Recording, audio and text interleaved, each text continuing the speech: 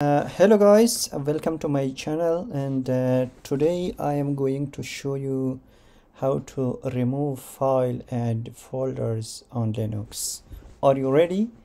Uh, so let's get started. Open a terminal. Terminal.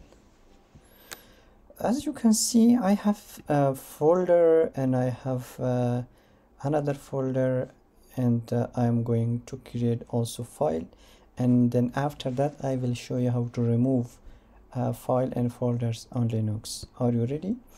So let's create a file. We uh, learned in the previous video by using touch index.txt we can actually create files. But first I am go I have to change the directory. Where I am now right now cd desktop. Okay now I am in the on the desktop. Here I am going to create a file by using touch index.txt as you can see I created this file. And uh, so let's remove this file using a CLI command line interface. How we can remove file? By using rm and the name of the file with, uh, with extension txt and enter. As you can see the file is gone. It's removed successfully.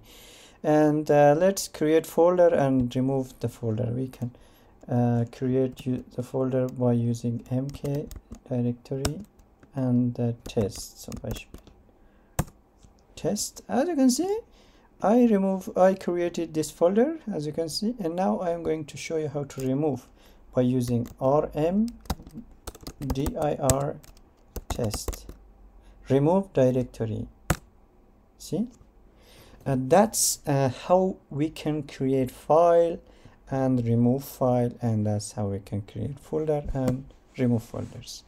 Thank you guys for watching. If you have any question drop them in the comment section and i will be very very happy to help you out with that. See you in the next video